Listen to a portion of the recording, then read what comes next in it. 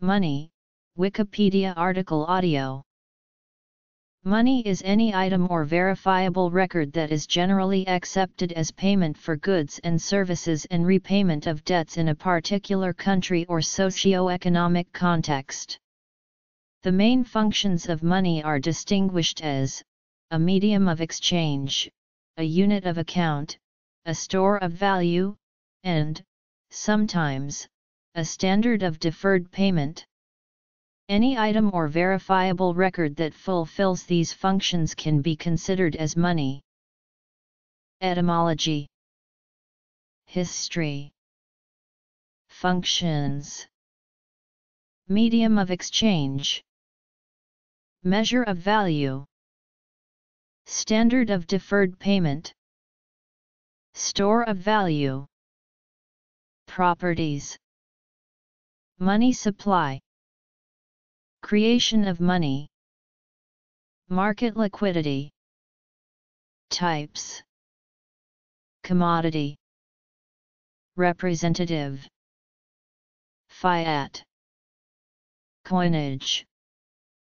Paper. Commercial bank. Electronic or digital. Monetary policy Counterfeit Laundering Money is historically an emergent market phenomenon establishing a commodity money, but nearly all contemporary money systems are based on fiat money. Fiat money, like any check or note of debt, is without use value as a physical commodity. It derives its value by being declared by a government to be legal tender, that is, it must be accepted as a form of payment within the boundaries of the country, for all debts, public and private. The money supply of a country consists of currency and, depending on the particular definition used, one or more types of bank money. Bank money, which consists only of records, forms by far the largest part of broad money in developed countries. The word money is believed to originate from a temple of Juno, on Capitoline, one of Rome's seven hills. In the ancient world Juno was often associated with money. The temple of Juno Moneta at Rome was the place where the mint of ancient Rome was located. The name Juno may derive from the Etruscan goddess Uni and Moneta either from the Latin word monere or the Greek word moneres. In the Western world, a prevalent term for coin money has been specie, stemming from Latin in specie, meaning in kind. The use of barter-like methods may date back to at least 100,000 years ago, though there is no evidence of a society or economy that relied primarily on barter. Instead, non-monetary societies operated largely along the principles of gift economy and debt. When barter did in fact occur, it was usually between either complete strangers or potential enemies. Many cultures around the world eventually developed the use of commodity money. The Mesopotamian shekel was a unit of weight, and relied on the mass of something like 160 grains of barley. The first usage of the term came from Mesopotamia circa 3000 BC. Societies in the Americas, Asia, Africa, and Australia used shell money often, the shells of the cowrie. According to Herodotus, the Lydians were the first people to introduce the use of gold and silver coins. It is thought by modern scholars that these first stamped coins were minted around 650-600 BC. The system of commodity money eventually evolved into a system of representative money. This occurred because gold and silver merchants or banks would issue receipts to their depositors redeemable for the commodity money deposited. Eventually, these receipts became generally accepted as a means of payment and were used as money. Paper money or banknotes were first used in China during the Song dynasty. These banknotes, known as jiaozi, evolved from promissory notes that had been used since the 7th century. However, they did not displace commodity money, and were used alongside coins. In the 13th century, paper money became known in Europe through the accounts of travelers, such as Marco Polo and William of Rubruck. Marco Polo's account of paper money during the Yuan dynasty is the subject of a chapter of his book, The Travels of Marco Polo, titled How the Great Khan Causeth the Bark of Trees, made into something like paper, to pass for money all over his country. Banknotes were first issued in Europe by Stockholm's Banco in 1661, and were again also used alongside coins. The gold standard, a monetary system where the medium of exchange are paper notes that are convertible into preset, fixed quantities of gold, replaced the use of gold coins as currency in the 17th-19th centuries in Europe. These gold standard notes were made legal tender, and redemption into gold coins was discouraged. By the beginning of the 20th century almost all countries had adopted the gold standard, backing their legal tender notes with fixed amounts of gold. After World War II and the Bretton Woods Conference, most countries adopted fiat currencies that were fixed to the US dollar. The US dollar was in turn fixed to gold. In 1971 the U.S. government suspended the convertibility of the U.S. dollar to gold. After this many countries depegged their currencies from the U.S. dollar, and most of the world's currencies became unbacked by anything except the government's fiat of legal tender and the ability to convert the money into goods via payment. According to proponents of modern money theory, fiat money is also backed by taxes. By imposing taxes, states create demand for the currency they issue. In Money and the Mechanism of Exchange, William Stanley Jevons famously analyzed money in terms of four functions a medium of exchange, a common measure of value, a standard of value, and a store of value. By 1919, Jevons's four functions of money were summarized in the couplet this couplet would later become widely popular in macroeconomics textbooks. Most modern textbooks now list only three functions, that of medium of exchange, unit of account, and store of value, not considering a standard of deferred payment as it is a distinguished function, but rather subsuming it in the others. There have been many historical disputes regarding the combination of money's functions, some arguing that they need more separation and that a single unit is insufficient to deal with them all. One of these arguments is that the role of money as a medium of exchange is in conflict with its role as a store of value, its role as a store of value requires holding it without spending, whereas its role as a medium of exchange requires it to circulate. Others argue that storing of value is just deferral of the exchange, but does not diminish the fact that money is a medium of exchange that can be transported both across space and time. The term financial capital is a more general and inclusive term for all liquid instruments, whether or not they are a uniformly recognized tender. When money is used to intermediate the exchange of goods and services, it is performing a function as a medium of exchange. It thereby avoids the inefficiencies of a barter system, such as the coincidence of wants problem. Money's most important usage is as a method for comparing the values of dissimilar objects. A unit of account is a standard numerical monetary unit of measurement of the market value of goods, services, and other transactions. Also known as a measure or standard of relative worth and deferred payment, a unit of account is a necessary prerequisite for the formulation of commercial agreements that involve debt. Money acts as a standard measure and common denomination of trade. It is thus a basis for quoting and bargaining of prices. It is necessary for developing efficient accounting systems. While standard of deferred payment is distinguished by some texts, particularly older ones, other texts subsume this under other functions. A standard of deferred payment is an accepted way to settle a debt a unit in which debts are denominated, and the status of money as legal tender, in those jurisdictions which have this concept, states that it may function for the discharge of debts. When debts are denominated in money, the real value of debts may change due to inflation and deflation, and for sovereign and international debts via debasement and devaluation.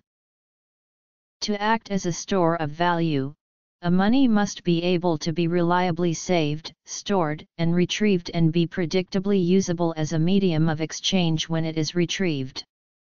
The value of the money must also remain stable over time. Some have argued that inflation, by reducing the value of money, diminishes the ability of the money to function as a store of value. To fulfill its various functions, money must have certain properties. In economics, money is a broad term that refers to any financial instrument that can fulfill the functions of money. These financial instruments together are collectively referred to as the money supply of an economy. In other words, the money supply is the number of financial instruments within a specific economy available for purchasing goods or services. Since the money supply consists of various financial instruments, the amount of money in an economy is measured by adding together these financial instruments creating a monetary aggregate. Modern monetary theory distinguishes among different ways to measure the money supply, reflected in different types of monetary aggregates, using a categorization system that focuses on the liquidity of the financial instrument used as money. The most commonly used monetary aggregates are conventionally designated M1, M2, and M3. These are successively larger aggregate categories, M1 is currency plus demand deposits, M2 is M1 plus savings accounts and time deposits under $100,000, and M3 is M2 plus larger time deposits and similar institutional accounts. M1 includes only the most liquid financial instruments, and M3 relatively illiquid instruments. The precise definition of M1, M2 etc. may be different in different countries. Another measure of money, M0, is also used, unlike the other measures, it does not represent actual purchasing power by firms and households in the economy. M0 is base money, or the amount of money actually issued by the central bank of a country. It is measured as currency plus deposits of banks and other institutions at the central bank. M0 is also the only money that can satisfy the reserve requirements of commercial banks. In current economic systems, money is created by two procedures. Legal tender, or narrow money is the cash money created by a central bank by minting coins and printing banknotes. Bank money, or broad money is the money created by private banks through the recording of loans as deposits of borrowing clients, with partial support indicated by the cash ratio. Currently, bank money is created as electronic money. In most countries, the majority of money is mostly created as M1/M2 by commercial banks making loans. Contrary to some popular misconceptions, banks do not act simply as intermediaries, lending out deposits that savers place with them, and do not depend on central bank money to create new loans and deposits. Market liquidity describes how easily an item can be traded for another item, or into the common currency within an economy. Money is the most liquid asset because it is universally recognized and accepted as the common currency. In this way, money gives consumers the freedom to trade goods and services easily without having to barter. Liquid financial instruments are easily tradable and have low transaction costs. There should be no spread between the prices to buy and sell the instrument being used as money. Currently, most modern monetary systems are based on fiat money. However, for most of history, almost all money was commodity money, such as gold and silver coins. As economies developed, commodity money was eventually replaced by representative money, such as the gold standard, as traders found the physical transportation of gold and silver burdensome.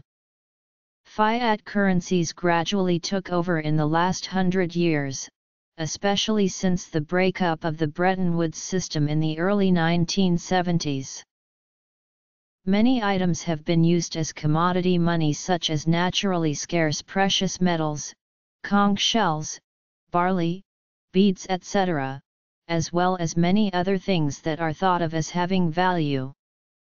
Commodity money value comes from the commodity out of which it is made. The commodity itself constitutes the money, and the money is the commodity. Examples of commodities that have been used as mediums of exchange include gold, silver, copper, rice, wampum, salt, peppercorns, large stones, decorated belts, shells, alcohol, cigarettes, cannabis, candy, etc. These items were sometimes used in a metric of perceived value in conjunction to one another, in various commodity valuation or price system economies.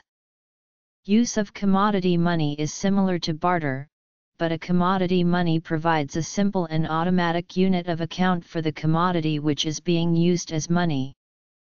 Although some gold coins such as the Krugerrand are considered legal tender, there is no record of their face value on either side of the coin. The rationale for this is that emphasis is laid on their direct link to the prevailing value of their fine gold content. American Eagles are imprinted with their gold content and legal tender face value. In 1875, the British economist William Stanley Jevons described the money used at the time as representative money. Representative money is money that consists of token coins, paper money or other physical tokens such as certificates, that can be reliably exchanged for a fixed quantity of a commodity such as gold or silver.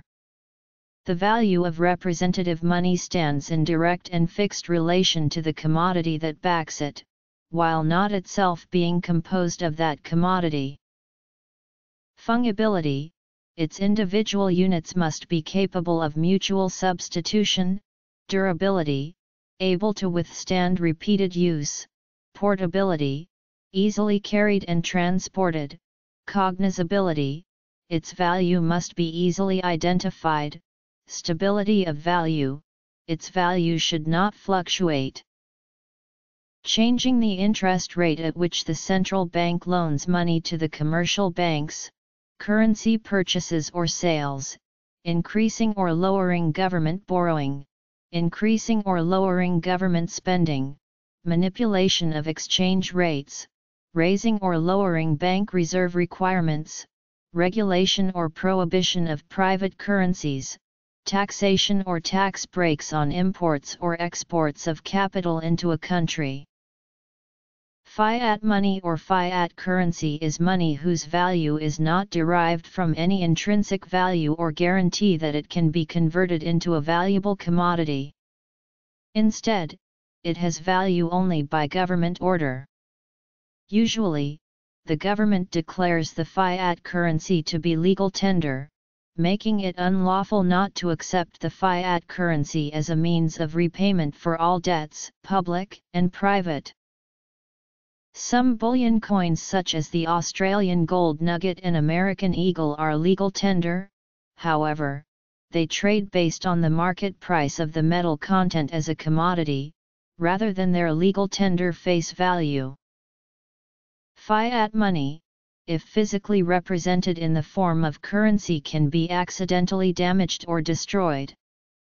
However, fiat money has an advantage over representative or commodity money, in that the same laws that created the money can also define rules for its replacement in case of damage or destruction. For example, the U.S. government will replace mutilated Federal Reserve notes if at least half of the physical note can be reconstructed, or if it can be otherwise proven to have been destroyed. By contrast, commodity money which has been lost or destroyed cannot be recovered. These factors led to the shift of the store of value being the metal itself, at first silver, then both silver and gold, and at one point there was bronze as well. Now we have copper coins and other non-precious metals as coins. Metals were mined, weighed, and stamped into coins. This was to assure the individual taking the coin that he was getting a certain known weight of precious metal. Coins could be counterfeited, but they also created a new unit of account, which helped lead to banking. Archimedes' principle provided the next link, coins could now be easily tested for their fine weight of metal, and thus the value of a coin could be determined, even if it had been shaved, debased, or otherwise tampered with. In most major economies using coinage, copper, silver, and gold formed three tiers of coins. Gold coins were used for large purchases, payment of the military and backing of state activities. Silver coins were used for mid-sized transactions, and as a unit of account for taxes, dues, contracts, and fealty, while copper coins represented the coinage of common transaction. This system had been used in ancient India since the time of the Mahajanapadas. In Europe, this system worked through the medieval period because there was virtually no new gold, silver, or copper introduced through mining or conquest. Thus the overall ratios of the three coinages remained roughly equivalent. In pre-modern China, the need for credit and for circulating a medium that was less of a burden than exchanging thousands of copper coins led to the introduction of paper money, commonly known today as banknotes. This economic phenomenon was a slow and gradual process that took place from the late Tang dynasty into the Song dynasty. It began as a means for merchants to exchange heavy coinage for receipts of deposit issued as promissory notes from shops of wholesalers, notes that were valid for temporary use in a small regional territory. In the 10th century, the Song dynasty government began circulating these notes amongst the traders in their monopolized salt industry. The Song government granted several shops the sole right to issue banknotes, and in the early 12th century the government finally took over these shops to produce state-issued currency. Yet the banknotes issued were still regionally valid and temporary, it was not until the mid-13th century that a standard and uniform government issue of paper money was made into an acceptable nationwide currency. The already widespread methods of woodblock printing and then Bi Sheng's movable type printing by the 11th century was the impetus for the massive production of paper money in pre-modern China. At around the same time in the medieval Islamic world, a vigorous monetary economy was created during the 7th-12th centuries on the basis of the expanding levels of circulation of a stable high-value currency. Innovations introduced by Muslim economists, traders, and merchants include the earliest uses of credit, checks, promissory notes, savings accounts, transactional accounts, loaning, trusts, exchange rates, the transfer of credit and debt, and banking institutions for loans and deposits. In Europe, Paper money was first introduced in Sweden in 1661. Sweden was rich in copper, thus, because of copper's low value, extraordinarily big coins had to be made. The advantages of paper currency were numerous, it reduced transport of gold and silver, and thus lowered the risks, it made loaning gold or silver at interest easier, since the specie never left the possession of the lender until someone else redeemed the note, and it allowed for a division of currency into credit and specie-backed forms. It enabled the sale of stock in joint stock companies, and the redemption of those shares in paper. However, these advantages held within them disadvantages. First, since a note has no intrinsic value, there was nothing to stop issuing authorities from printing more of it than they had specie to back it with. Second, because it increased the money supply, it increased inflationary pressures, a fact observed by David Hume in the 18th century. The result is that paper money would often lead to an inflationary bubble, which could collapse if people began demanding hard money, causing the demand for paper notes to fall to zero. The printing of paper money was also associated with wars, and financing of wars, and therefore regarded as part of maintaining a standing army. For these reasons, paper currency was held in suspicion and hostility in Europe and America. It was also addictive, since the speculative profits of trade and capital creation were quite large. Major nations established mints to print money and mint coins, and branches of their treasury to collect taxes and hold gold and silver stock. At this time both silver and gold were considered legal tender, and accepted by governments for taxes.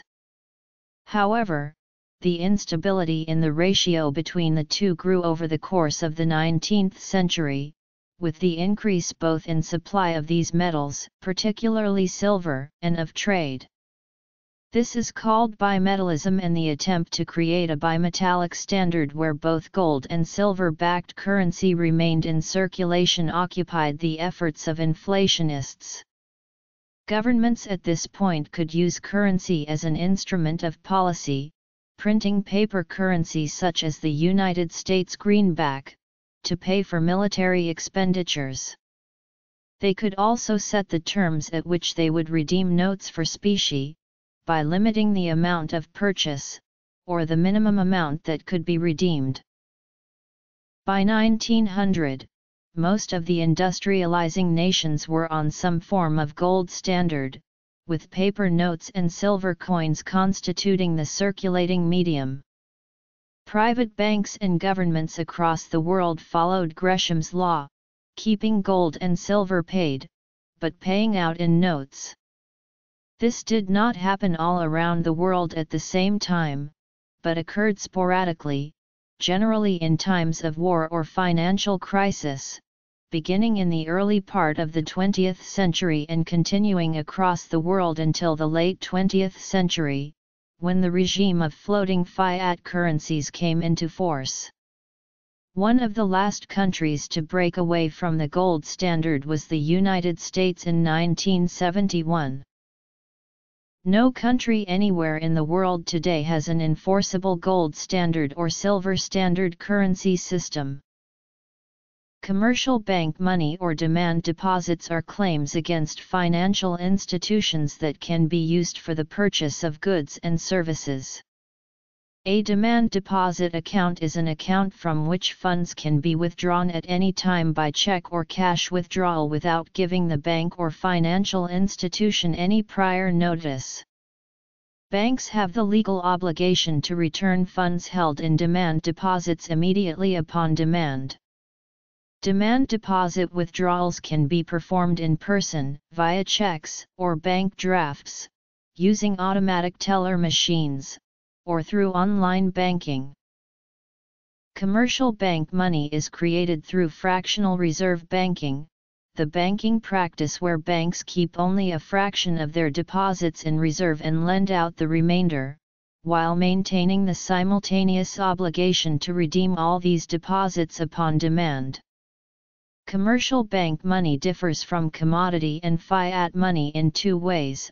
Firstly, it is non-physical, as its existence is only reflected in the account ledgers of banks and other financial institutions, and secondly, there is some element of risk that the claim will not be fulfilled if the financial institution becomes insolvent. The process of fractional reserve banking has a cumulative effect of money creation by commercial banks, as it expands money supply beyond what it would otherwise be. Because of the prevalence of fractional reserve banking, the broad money supply of most countries is a multiple larger than the amount of base money created by the country's central bank. That multiple is determined by the reserve requirement or other financial ratio requirements imposed by financial regulators. The money supply of a country is usually held to be the total amount of currency in circulation plus the total value of checking and savings deposits in the commercial banks in the country. In modern economies, relatively little of the money supply is in physical currency. For example, in December 2010 in the U.S., of the $8,853.4 billion in broad money supply, only $915.7 billion consisted of physical coins and paper money.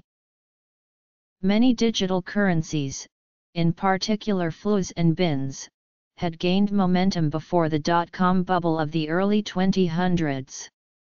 Not much innovation occurred until the conception of Bitcoin in 2009, which introduced the concept of a cryptocurrency. When gold and silver are used as money, the money supply can grow only if the supply of these metals is increased by mining. This rate of increase will accelerate during periods of gold rushes and discoveries, such as when Columbus discovered the New World and brought back gold and silver to Spain, or when gold was discovered in California in 1848. This causes inflation, as the value of gold goes down. However, if the rate of gold mining cannot keep up with the growth of the economy, gold becomes relatively more valuable, and prices will drop causing deflation. Deflation was the more typical situation for over a century when gold and paper money backed by gold were used as money in the 18th and 19th centuries. Modern-day monetary systems are based on fiat money and are no longer tied to the value of gold. The control of the amount of money in the economy is known as monetary policy. Monetary policy is the process by which a government, central bank, or monetary authority manages the money supply to achieve specific goals. Usually the goal of monetary policy is to accommodate economic growth in an environment of stable prices. For example, it is clearly stated in the Federal Reserve Act that the Board of Governors and the Federal Open Market Committee should seek to promote effectively the goals of maximum employment, stable prices, and moderate long-term interest rates. A failed monetary policy can have significant detrimental effects on an economy and the society that depends on it. These include hyperinflation, stagflation, recession, high unemployment, shortages of imported goods, inability to export goods, and even total monetary collapse and the adoption of a much less efficient barter economy. This happened in Russia, for instance, after the fall of the Soviet Union. Governments and central banks have taken both regulatory and free market approaches to monetary policy.